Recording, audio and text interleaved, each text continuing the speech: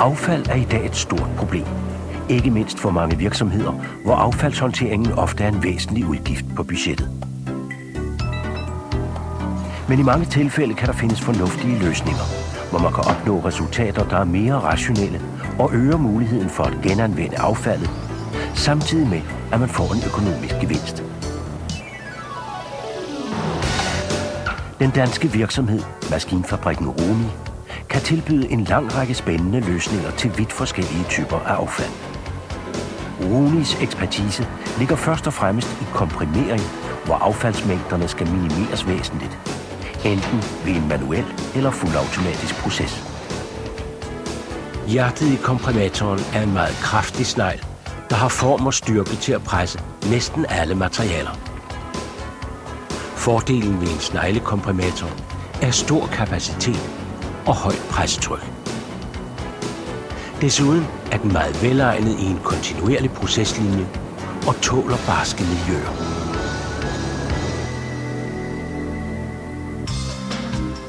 Virksomheder, der er storforbrugere af polystyrenemballage, som for eksempel elektronik- og fiskeindustrien, har normalt et stort behov for at minimere håndteringen af brugt emballage.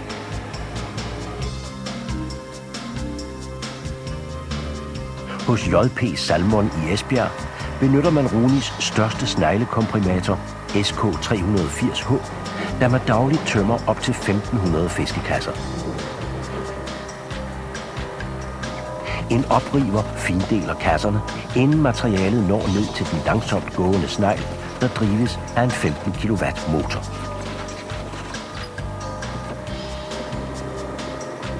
For at opnå en ensartet presningsgrad benyttes hydrauliske kæber som modhold. De reguleres af et digitalt styrepanel, som konstant måler motorens ampereforbrug og åbner og lukker kæberne afhængig af det registrerede modhold.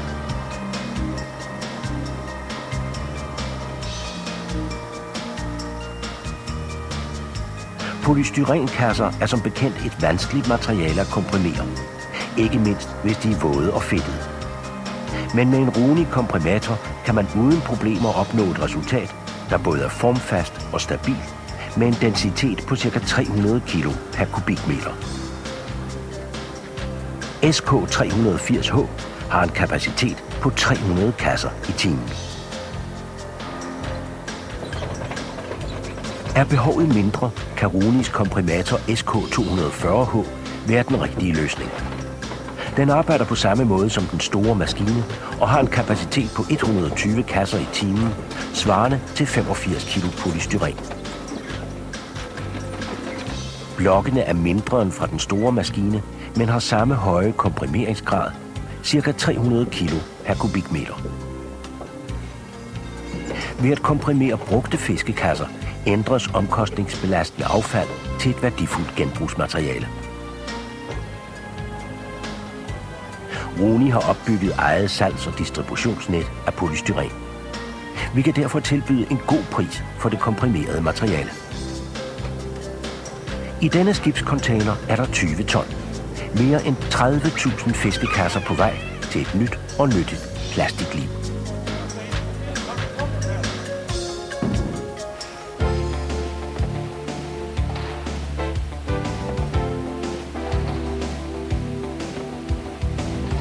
Hos K-salat i Havnsø er det et helt anderledes materiale, man har behov for at komprimere. Dagligt tømmes 4.000 blikdåser med forskelligt indhold af råvarer. De tomme dåser fylder enormt, hvis de blot skulle fjernes i helt tilstand. Men Runis SK380H er også her en ideel løsning. To dages produktion, eller ca. 8.000 dåser, befinder sig i den komprimerede streng, man ser på afgangstruen.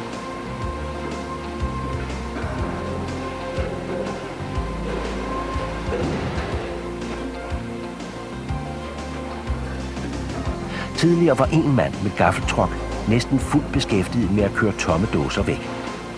Nu kan man nøjes med at tømme tipcontaineren hver anden dag. Ved den videre transport til genbrug har man ingen problemer med at udnytte lastvognens maksimale totalvægt. Kapaciteten er på 3.500 dåser i timen. En fotocelle registrerer, når der er dåser på fødebåndet, så sneglen ikke arbejder unødvendigt. K-salat er et godt eksempel på, hvordan Runis komprimatorer kan indgå i en fuldautomatisk proces.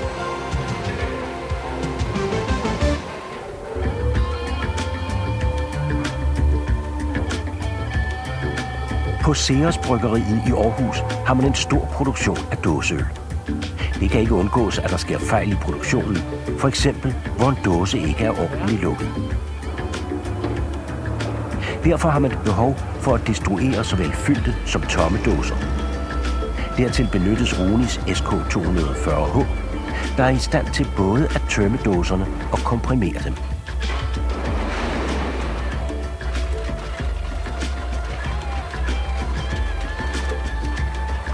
Som en overbygning på basiskomprimatorn har Runi udviklet en separator, som åbner dåserne.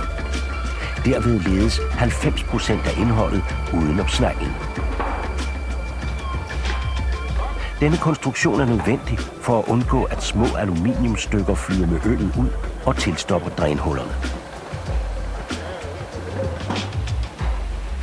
Anlægget har en kapacitet på op til 10.000 fyldte dåser i timen. De komprimerede dåser vejer 350 kg per kubikmeter, når de ligger løst i containeren.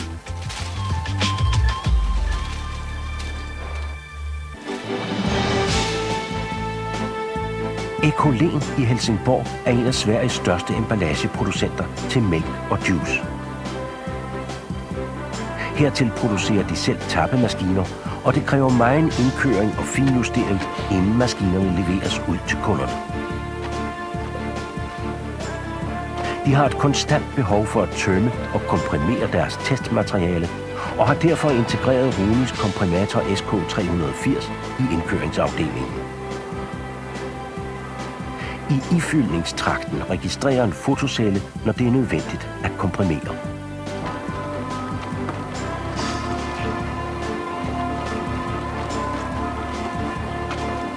Der bruges hovedsageligt vand, men også mælk og juice som testvæske. Dette opsamles og genbruges. Den komprimerede og næsten tørre emballage transporteres ud i en container. Roni har leveret tilsvarende anlæg til mange tapperier, som har brug for at tømme og komprimere fejlproduktioner og produkter, der har overskrevet sidste salgsdato.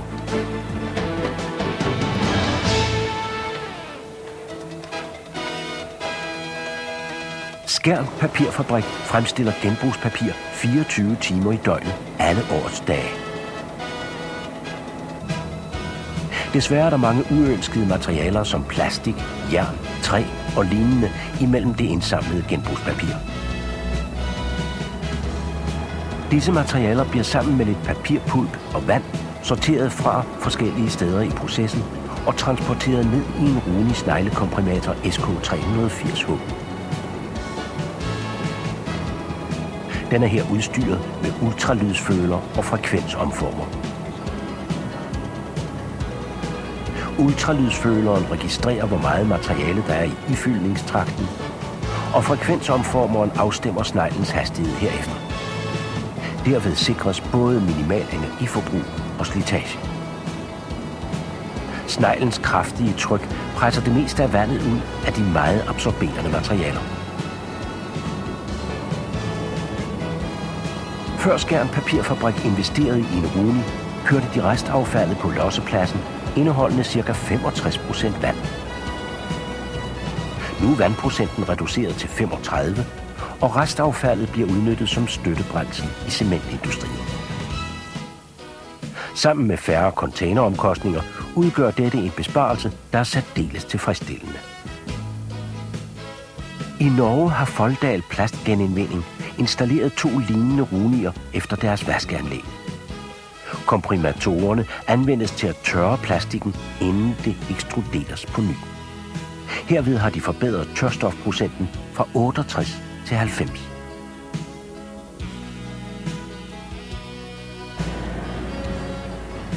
På Skjern Papirfabrik har Rune også designet et fuldautomatisk fordeleranlæg til det komprimerede affald. Der er plads til tre containere, der stille og roligt fyldes enkeltvis via et hydraulisk grebanlæg.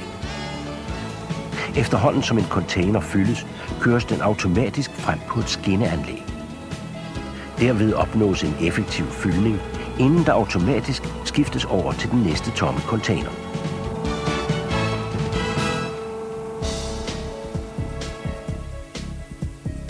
Maskinfabrikken Roni har to ingeniører beskæftiget med at videreudvikle sneglekomprimatorer og medfølgende udstyr.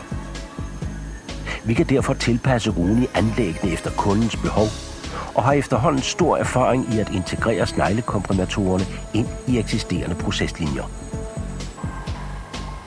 Der er mange muligheder for output. Stor container, tip-container, eller som her direkte ud i plastikpose, hvorved støv og lugtgener elimineres. Hos Runi sætter vi fleksibilitet, kvalitet og troværdighed i højsædet. Reelt er det kun fantasien, der sætter grænser for, hvilke materialer, der med fordel kan behandles i Runis sneglekomprimator. Vi plejer at sige, lad det komme an på en prøve. Vi foretager gerne en prøvekomprimering af materiale, som vi ikke har kendskab til i forvejen. Mange bliver overrasket over, hvad de kan udrette med en runi. Ikke mindst på bundlinjen. Vi har ofte erfaret en payback-periode på mindre end et år. I denne video har vi kun præsenteret et fortal af de spændende løsninger, der kan opnås med en sneglekomprimator. Håber det har været til inspiration. Vi har i dag mange tilfredse kunder fordelt på 12 lande. Skal det være den næste, der får glæde af en runi?